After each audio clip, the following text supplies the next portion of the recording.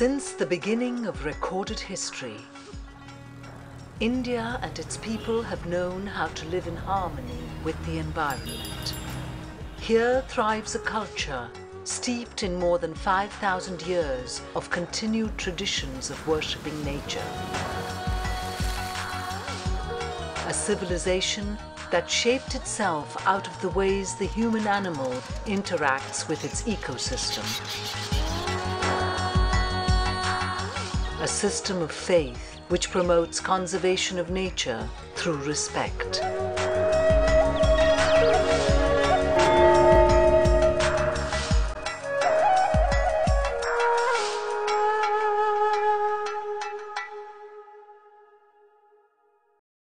जय देव जय देव जय Radha Krishna Over thousands of years, India has devised ways and means to conserve forests, beneficial plants and animals by connecting them to faith. Evidences of nature worship are scattered in ancient sites all over the country.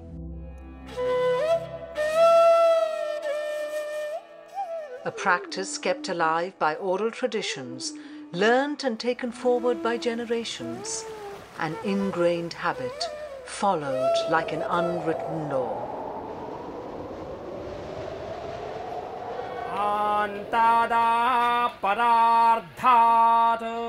To this day, Gurukuls continue to impart traditional knowledge of ancient scriptures through songs, legends, and folk tales. The human being is just a tiny speck in the divine scheme of creations. To be able to survive, he must be able to live in harmony with nature.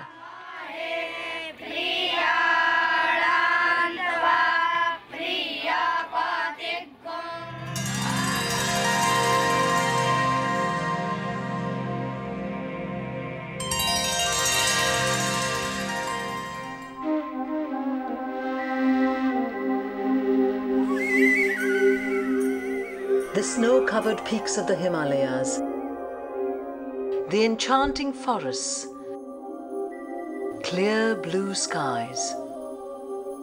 Uttarakhand in north of India is also called Devbhumi or the land of gods.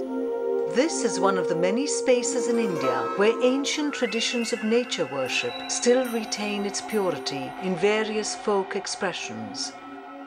See, Indian culture has had an enormous um, environmental ethic, if you look at it. And there is no doubt that uh, people across the length and breadth of this country had learned to live on the environment.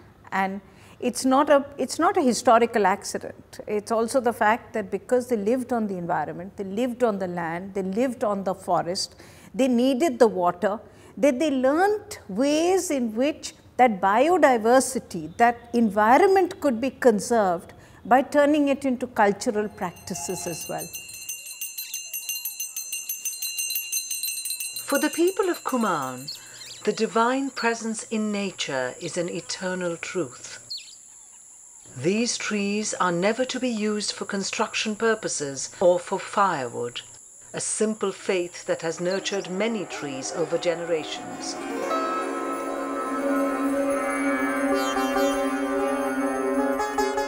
Worship, a philosophy that teaches people to respect trees, was a simple yet effective move by our forefathers to protect the environment. People के पेड़ के लिए कहा कि ये ब्राह्मण है और पीपल को काटोगे तो ब्रह्म हत्या लगेगी क्यों कहा क्योंकि जब तक किसी के प्रति भय नहीं होगा तब तक हमारी आस्था उसके प्रति नहीं होगी यदि पर्यावरण बचाना है तो पीपल के वृक्ष जितने ज़्यादा लग जाएँगे, उतना पर्यावरण हमारा शुद्ध होता चला जाएगा। सबसे ज़्यादा ऑक्सीजन पीपल देता है। हमारे धर्म ने बता दिया कि कम से कम कुछ नहीं है तो शनिवार के दिन आप पीपल पर एक लोटा जल चढ़ाया हो और उससे गले मिल लो तो तुम्हारे लिए जितना भी कष्ट है, वह समाप्त हो जाएगा। क्यों कहा? कारण है इसमें। हम अस्वस्थ हैं हमें शुद्ध ऑक्सीजन नहीं मिल रही। तो हमारे पूर्वजों ने कहा, एक दिन तो कम से कम चले जाओ। और हो सके तो कच्चा सूत के धागे से परिक्रमा लगाओ। क्यों? कच्चा धागा तेज, आप तेज नहीं चल सकते। धीरे चलेंगे और धीरे चलेंगे तो ऑक्सीजन आपको जितनी मिलेगी उतना आपको लाभ मिलेगा। धर्म से जोड़ा, धर्म के बिना कोई कार्य सफल नहीं हो सकता। Faith leads to respect, and respect ensures protection.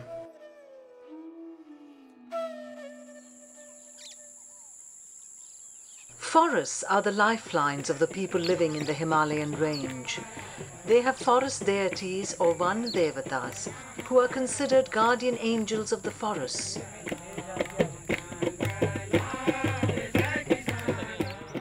The local tribes would pay their reverence to these devatas on special occasions.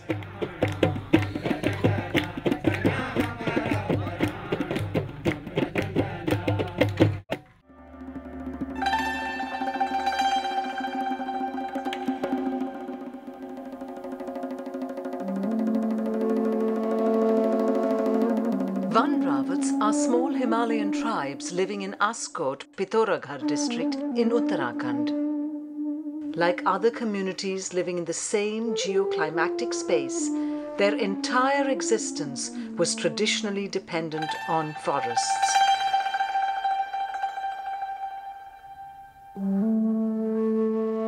जो बनराजी लोग हैं वो क्योंकि जंगलों में रहे जंगलों से इनको भोजन मिला तो अब इनका जो रोज़गार है छोटा मोटा रोज़गार है तो जंगलों से ही है। जो सूखे लकड़ी गिर जाती है और ये घास होती है तो ये उन चीज़ों को संभाले रखती है। ये बनराजी अन्य जाति को नहीं आने देती है। और जितना इनका क्षेत्र पड़ता है, वो वास्तव में वो सुरक्षित जंगल माना जाता है।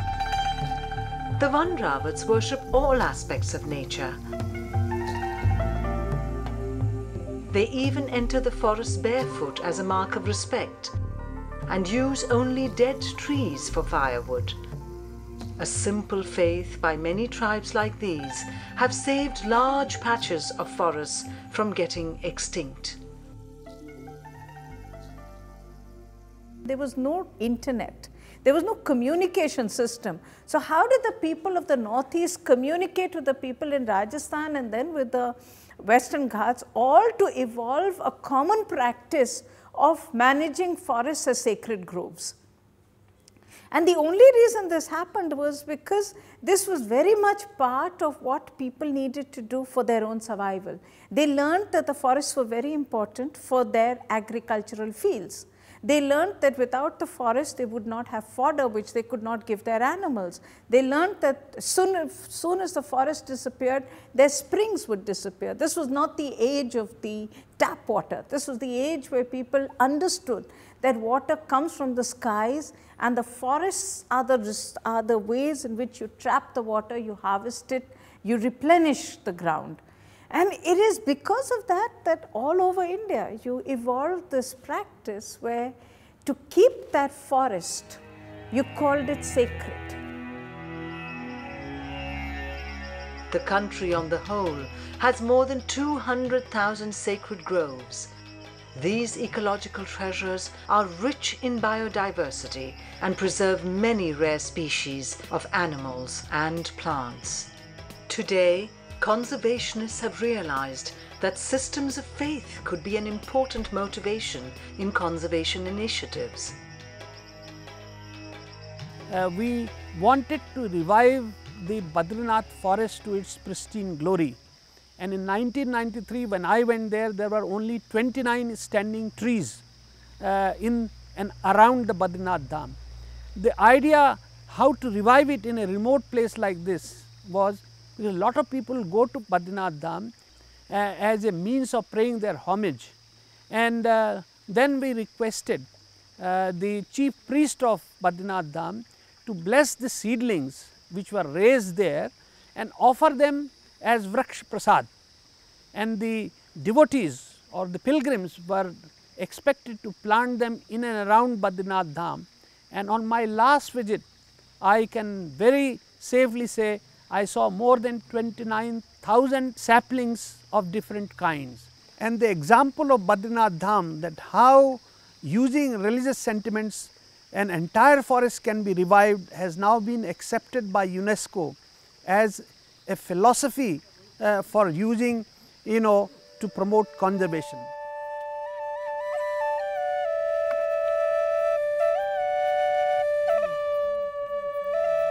In Indian philosophy, man has been advised not to tamper with nature and to preserve ecological balance.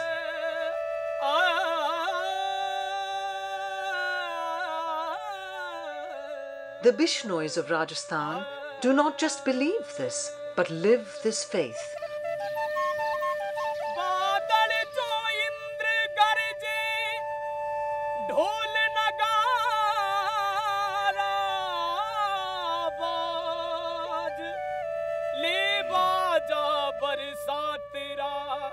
चढ़ियो राजा इन मारो जंगल मंगल देश माने प्यारो लागे सा For centuries, they have put their lives at stake to protect their immediate environment.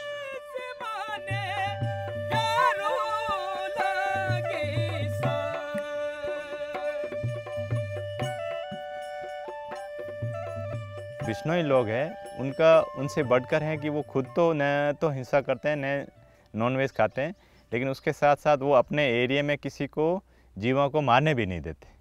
और उसके लिए, और पेड़, हरे पेड़ों को काटने नहीं देते। उसके लिए उन्होंने अपनी कई ऐसे उदाहरण हैं जिनमें अपनी ज़िंदगियाँ कुर्बान कर दी विश्व का सबसे बड़ा उदाहरण है, वो खेजड़ली गाँव का है, जहाँ पे तीन लोगों ने सिर्फ़ खेजड़ी का पेड़ बचाने के लिए अपनी जान दे दी थी। उस समय राजा महाराजाओं का राज था तो उनसे लड़ाई तो कर नहीं सकते तो उन्होंने सेल्फ सेक्रीफाइस का रास्ता चुना। सभी गाँव के लोग एक जगह इकट्ठे हुए और उनमें से तय हुआ कि अपन अपना गला कटा देंगे, लेकिन पेड़ नहीं कटाएँगे तो उसमें सबसे पहले जो एक औरत थी, अमृता देवी, उन्होंने डिसाइड किया कि सबसे पहले मैं जाऊँगी और मैं मेरी जान दूँगी।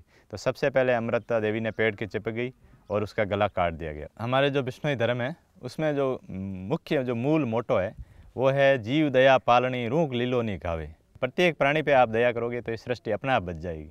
और ये अपन ऐसा करके अपन कोई उन जीवों पे एहसान नहीं कर रहे हैं। अपन पेड़ पे कोई एहसान नहीं करें। प्रकृति का एक सर्किल होता है और उस इंसान भी उस सर्किल का एक पार्ट है।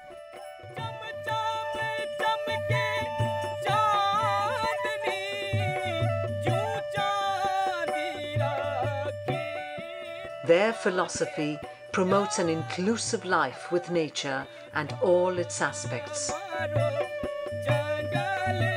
The Bishnois fiercely protect the plants and animals in their neighborhood from intruders. I've been so impressed by what I've learned because at the time when we were industrializing the world, the Bishnoi were um, communicating with nature, treating it with respect, worshipping um, trees and rescuing animals, um, and hopefully write about my experience in order to inspire people from my country or anywhere else to think about their relationship with the environment. Because here the Bishnoi take great responsibility for their environment around them, even to the point where they would be happy to sacrifice their own life for a tree or an animal, and that's been done many, many times.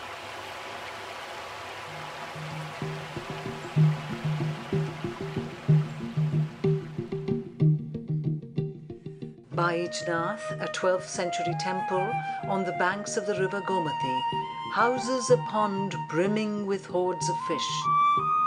Visitors are often found feeding them, as the fish is considered to be the Vahana or the carrier of the temple goddess. जो ये मछलियाँ हैं ये माँ भगवती के वाहन हैं और इनकी रक्षा ही हमारा धर्म है This is yet another unique social device that our ancestors created to maintain ecological balance. They connected animal life forms to the divine to protect them. Intelligent rulers of the past have used this device to safeguard endangered wild animals. The Nilgai, as, as uh, some of you would know, was previously known as Nilghor. Because it looks like a horse-like animal. It actually belongs to the antelope uh, group of animals, more closely related to the deer family. Nilgai is, is known to be a very notorious animal because it destroys crops. So people, you know, farmers especially, usually tend to ward it off or even kill it. The species has survived in the development of Delhi. Part of the reason for that is, is the fondness of this animal by Emperor Aurangzeb, and he called it, uh, he attributed the name Gai or the cow which is actually sacred to the Hindu community. Doing just that one step of calling it a Nilgai, you know, made these people from, you know, Nilgai hunters to Nilgai preservers. They started conserving Nilgai, they started respecting it. If Hindus protected animals through divine linkages, Buddhism preached ahimsa or non-violence to prevent destruction and promote conservation of all forms of life.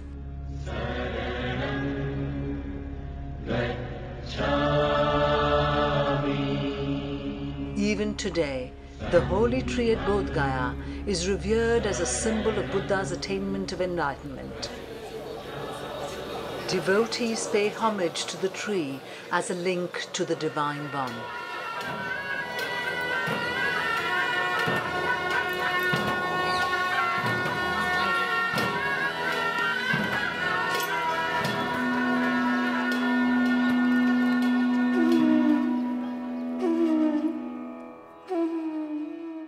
In ancient Indian literature, the role of the river is hailed as the shaper of people's lives, as a material sustainer and a spiritual nourisher.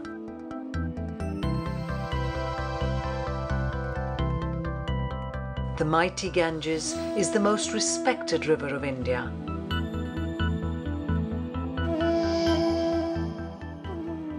Ganga हमारे सनातन धर्म से ही जुड़ी हुई नहीं, बल्कि चारों धर्मों से जुड़ी हुई है। सभी धर्म इसको मानते हैं। बोले, हिंदू, मुस्लिम, सिख, ईसाई, हम सभी भाई भाई इसको प्रमाणित जो करती है, वो माँ भगवती गंगा करती है। क्योंकि चाहे सिख हों, चाहे ईसाई हों, चाहे मुस्लिम हों, चाहे हिंदू हों, सभी भगवती को मानते हैं, सभी भगवती में आस्था रखते हैं। Karnabas, a provincial Uttar Pradesh town, has witnessed a silent revolution in conservation in the last decade. A revolution that brings together faith and science. When a group of scientists from WWF wanted to save the near extinct Gangetic dolphin, they realized that scientific reasoning was not enough to convince the local villagers. यहाँ पे जो religious leaders हैं, जो साधुज हैं सन्यासी हैं, उनके बहुत ज़्यादा उनको जो है लोग मानते हैं। हमने कोशिश करी कि ये जो साधु सन्यासी हैं, इनको हम समझाएँ। आप जो है एक रिलीजियस सेंटीमेंट लेके, लोगों के पास इसको प्रवचन दे के लोगों को समझाने की कोशिश करें और जिससे कि उनकी सहमति आई और उन्होंने जो गांव-गांव जाके हमारी जो भाषा थी साइंटिफिक भाषा, उसको जो है, उसको रिलीजियस सेंटीमेंट में ढाल के लोगों के पास पहुँचाने की उन्होंने कोशिश करी। उसका परिणाम ये निकला कि अब जो है, इस क्षेत्र में डॉल्फिन की संख्या में काफ़ी वृद्धि आई है। और हम सारे क्रेडिट जो है, गाँव वालों को देते हैं क्योंकि कम्युनिटी पार्टिसिपेशन से ही ये संभव हो सका This little town boasts of an increase in dolphin population and is home to rare migratory birds.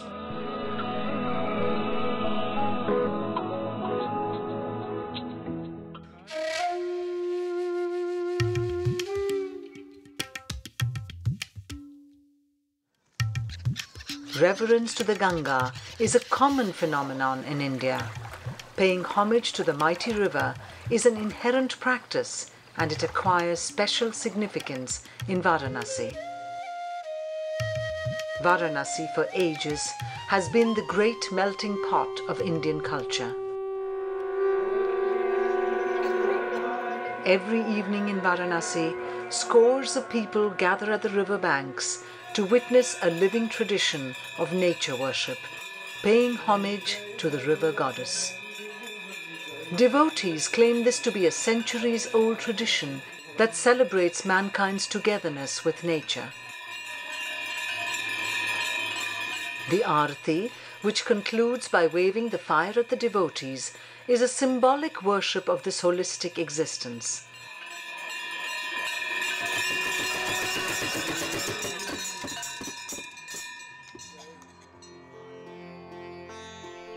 Varanasi, in many ways, is a confluence of India's ingrained system of environmental consciousness.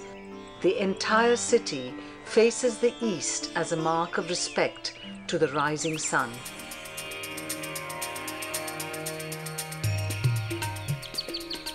India worships the sun as the harbinger and protector of life on earth.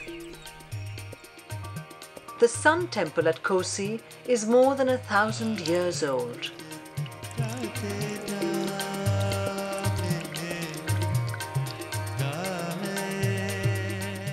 People doing a Surya Namaskar to pay their gratitude to the rising sun is a common sight across the length and breadth of the country.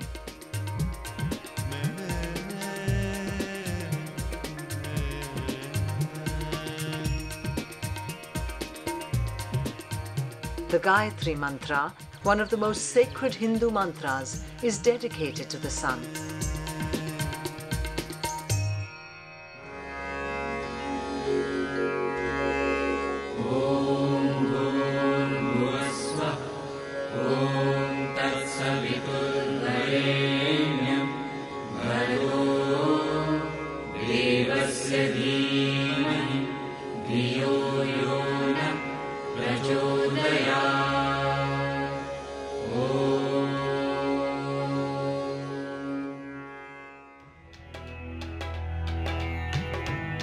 Indian philosophy is steeped with the awareness that the great forces of nature, the earth, the sky, the air, the water, and fire, are crucial to all life forms on earth.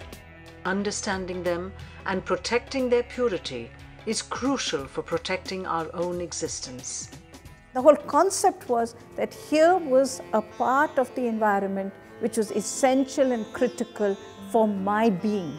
In our modern interest of environmentalism, we don't understand that ethic and that culture which is so integral because without ethic and without that culture, you can't protect environment. You can only introduce a technology, but you can't protect the environment. And I think that really is, is the, is the en- enormous wealth of wisdom that we've had in India.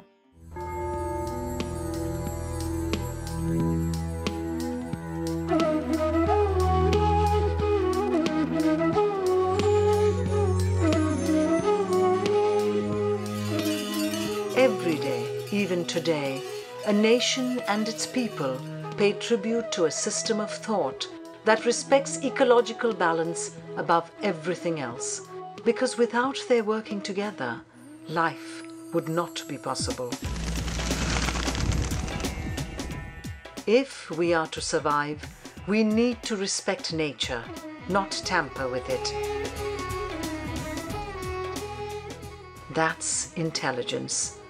That's prudence. And that is what being civilized is all about.